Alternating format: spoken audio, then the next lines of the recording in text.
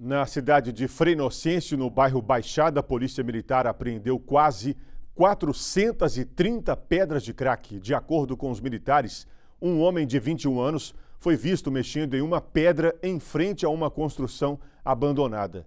O suspeito fugiu sentido a uma área de pastagem. Rastreamentos são realizados no sentido de prender essa pessoa. Ele é um autor já conhecido no meio policial, né?